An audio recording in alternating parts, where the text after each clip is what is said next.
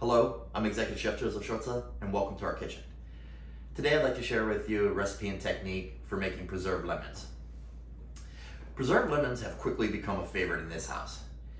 They help uh, add depth to soups, stews, sauces.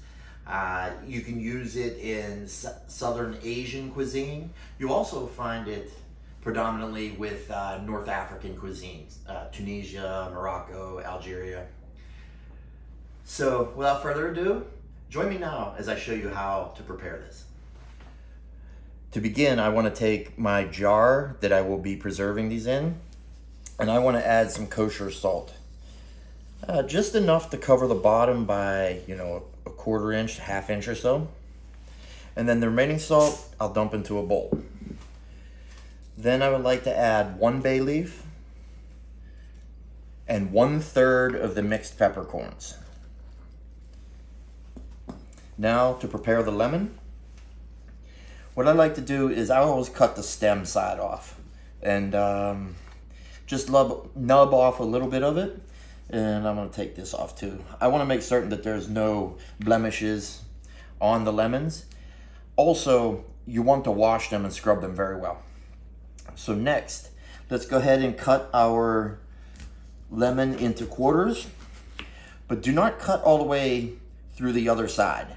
What I like to do is keep it maybe a quarter inch or so from the end. Turn it 90 degrees and go ahead again. And then repeat this with all of your lemons. Next, take your lemon and gently spread them open. And now go ahead and salt them very well.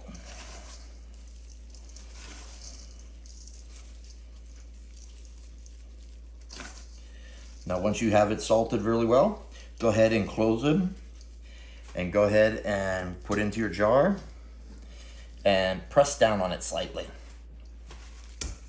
Continue with the other lemons. Okay, so now I have the lemons uh, salted. Go ahead and take some lemon juice and pour into your jar. Then go ahead and put another lemon in and press down.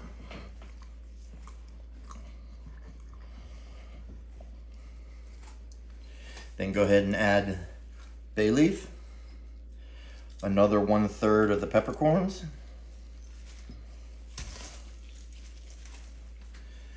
put in your next lemon. Now that we have our lemons in the jar, go ahead and press down a little more. You want to make certain that your lemons are completely submerged. Let's go ahead and add the last bay leaf and the peppercorns. And as this is sticking above the juice level, let's go ahead and take some of this liquid and pour into it until it's completely covered.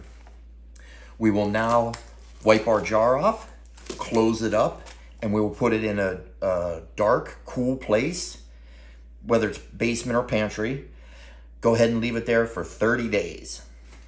Well, there you have my technique for making preserved lemons. Absolutely love this. I Many times when I'm making uh, a lemon risotto or even uh, lemon mashed potatoes or even a roasted potato tossed with uh, some preserved lemon is fantastic. Um, Asian cooking, I will use it and sometimes just in soups and stews, as I mentioned earlier in the uh, demonstration. Um, one of my favorite dishes with it is a bucatini pasta and using smoked salmon and uh, making a tarragon cream and then adding the uh, preserved lemon at the very end, fold it together, really adds nice flavor profile and pairs everything great together. Even throwing a little bit of uh, black caviar or flying fish roe on top of that to really make it pop. Well, I hope you enjoyed the demonstration. I hope you give it a try. Uh, let me know if, uh, how it turns out if you get to try it. Um, if you've not done so, please uh, feel free to subscribe to our channel. We'd love to have you on board and uh, hit that notification bell. That way you could be up to speed every time we post. Thank you again for joining. You